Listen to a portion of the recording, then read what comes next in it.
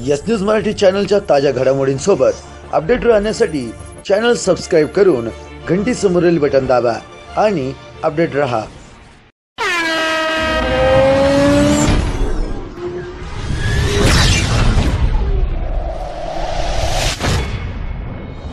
Yes news बातमीचा दणका. ला डोंगरीतील अवैध दारू विक्री बंद. विलगीकरण कक्षातील लोक दारू पिणाऱ्या लोकांची बातमी प्रसिद्ध होताच.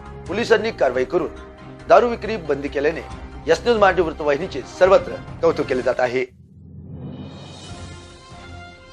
गडचिरोली जिल्ह्यातील चामोशी तालुक्यात बाहेर जिल्ह्या व राज्यातून आलेल्या लोकांसाठी प्रशासनाने उभारलेल्या कोरोना विलगीकरण कक्षामध्ये क्वारंटाईन केलेले लोक ही शाळेची भिंत ओलांडून लाल डोंगरी परिसरात सुरू असलेल्या अवैध दारू विक्रीच्या ठिकाणी जाऊन दारू पितात व ते पुन्हा विलगीकरण कक्षात येत असल्यासंदर्भात स्टिंग ऑपरेशन करून आपल्या एस न्यूज मराठी वृत्तवाहिनीने सर्वप्रथम वृत्त प्रसारित केले.